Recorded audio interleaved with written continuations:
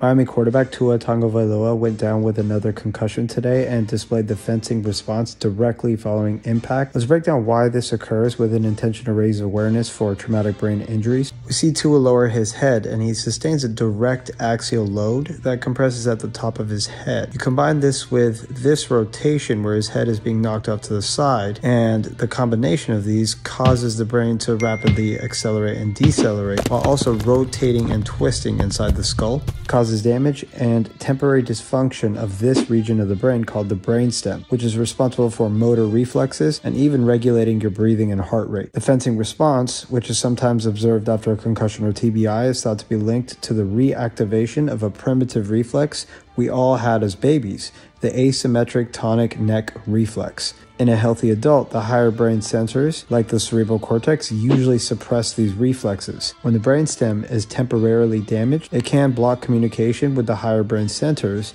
This loss of control from the higher centers is thought to reactivate the primitive reflexes through disinhibition. This response is now part of the NFL's no-go symptoms, which rule out a player immediately. This is the reason why the medical team ruled out Tua within six minutes of the injury occurring. This is one of multiple concussions Tua has had over the past few years years, and it's going to raise concerns about whether he should even continue to play, wishing him a safe and speedy recovery.